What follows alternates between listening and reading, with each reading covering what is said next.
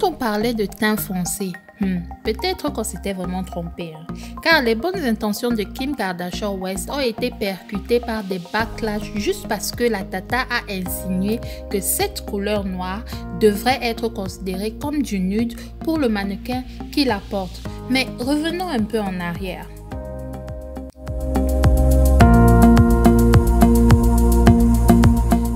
Autour des années fin 2000, début 2010, quand la couleur nude a commencé à être super populaire chez les adeptes de la mode.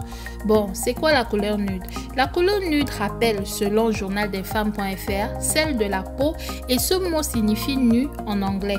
Le nude est une teinte claire et pâle, proche du beige et du blanc cassé. Et ça, c'est vraiment l'idée populaire du nude. Une teinte claire et pâle, proche du beige et du blanc cassé qui rappelle la couleur de la peau. Ce qui insinue que pour la peau-ci, ou celle-ci, ou encore celle-là, le nude n'existe pas, ou alors ce ne sont pas des peaux. Voici donc un bon exemple de ce qu'on appelle l'eurocentrisme, une idéologie qui consiste à attribuer une place centrale aux cultures et valeurs européennes aux dépens des autres cultures. Néanmoins, grâce aux critiques, activistes et célébrités telles que Rihanna avec son Fenty Beauty et même Kim Kardashian avec ses Skims, le terme nude s'est élargi pour inclure en plus des teintes rose, beige ou pâle, des tons plus foncés allant du brun au super super sombre.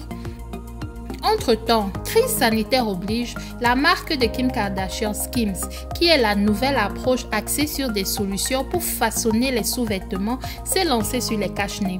La marque a fait également don de 10 000 cache-nez à des associations caritatives et dès le lancement en ligne de ces cache-nez Skims, tout s'est vendu. Skims a présenté 5 couleurs de cache-nez qui ont été qualifiées de nudes et tout allait bien jusqu'à ce que la dernière couleur soit carrément noire. Alors ceux qui doutent vraiment du concept se sont lâchés sur la toile en disant des trucs comme la nuance nude du modèle black est inexacte, offensante et culturellement déconnectée. Quelqu'un d'autre s'est écrié sur Twitter.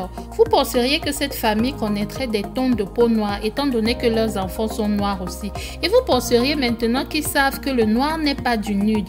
Mais vas-y Kimberly avec votre profit du racisme occasionnel. Notre fan fâché a ajouté Vous avez littéralement fait le masque des modèles noirs totalement noirs.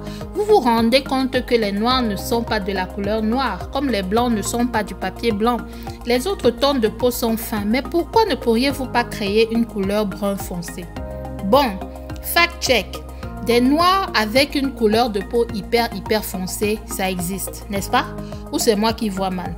Mais ce qui est aussi une certitude, c'est que la peau du mannequin qui porte le masque n'a pas la même couleur que le masque en question. Mais, est-ce que ce masque a la même couleur que cette peau? Et ici, vous trouvez que c'est la même couleur? Non.